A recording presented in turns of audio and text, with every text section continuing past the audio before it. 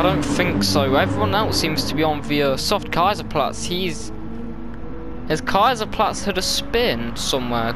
Because he started 8th, I believe, and he's fallen down. Oh, and there's contact...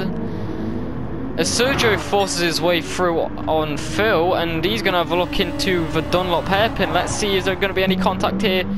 Late braking, tries to go around the outside, they're leaving a space. Heavy head protects that inside line, there's still contact, there's contact again on exit as they touch what would be the Armco on an LMP1 car. Sergio gets through as he's on the softer compound of tyre. There's no restriction on what tyres you have to be on. There's no rules, so you could just soft it all the way and... Well, what's going on here? Heavyhead, he's now ghosted as he takes a bit of a penalty. He's racing right through for this last points paying position. Phil getting all shaky at the back there as well. Heavy headers are going to go side by side through 130R. Mercedes versus Nissan. Who's got the bigger balls? Due to heavy heads penalty, that was saved from being a massive accident. That could have come out a lot worse. Looking for another move into 130R. He's close. Side by side for 130R and he gets it. Sergio backs out. Sergio looks for a switchback. He's not quite close enough. When Heavyhead looks off that move done that last little bit.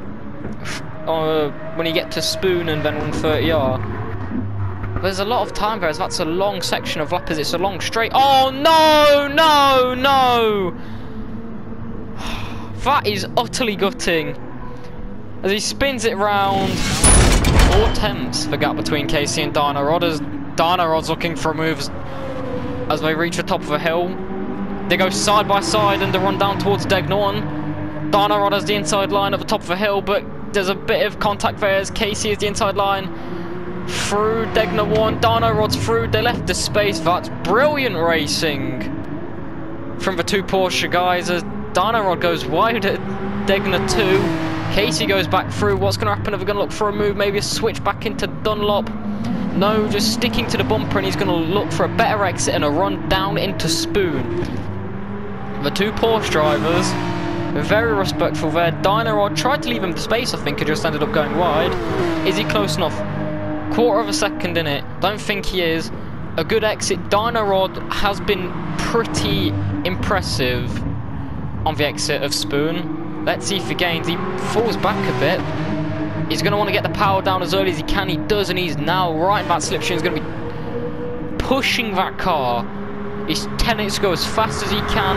I don't think he's going to get him into 130R. He's gaining. It's not going to be close enough. He's going to bail out.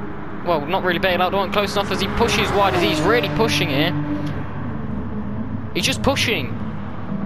Pushing like a woman in labour. Not close enough out of 130R into the final chicane. He'll look for it into turn one as... No, he won't. Casey Pitts to quickly go back to this. So even though we do need to kind of see who sets fastest lap, Casey's got back through on Dynarod. And we're going to see it again into Spoon. I don't think he's quite close enough.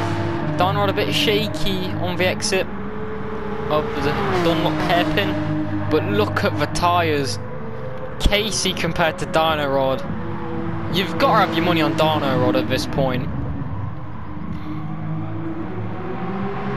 Like, coming down back back straight.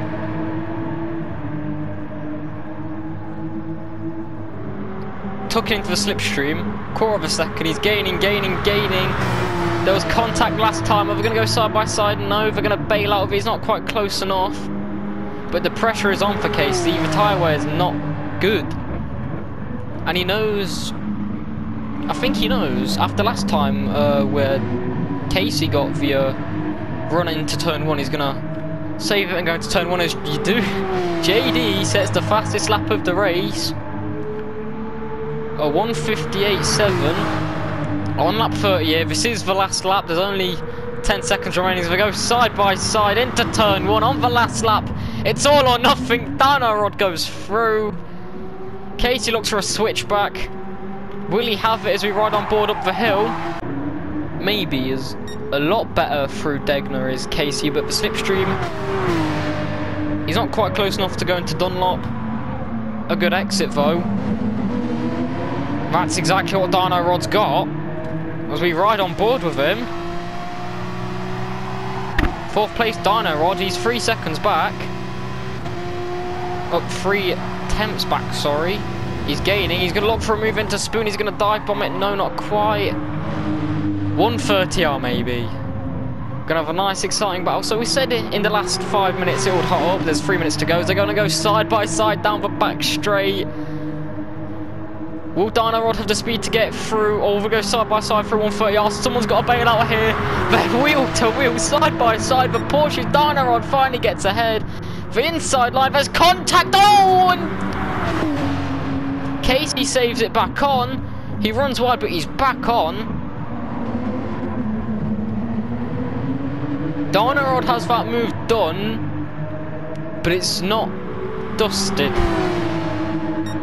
As he moves right down the inside, Casey wants revenge and sticking to the left hand side. Dino Rod doing an Akita Mazepin and hooking that inside line side by side into one. What a battle we're going to have here for the last. So Genergy 6th, Heavyhead 7th, and across the line.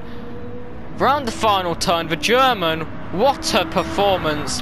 JM Devil wins round one of the season.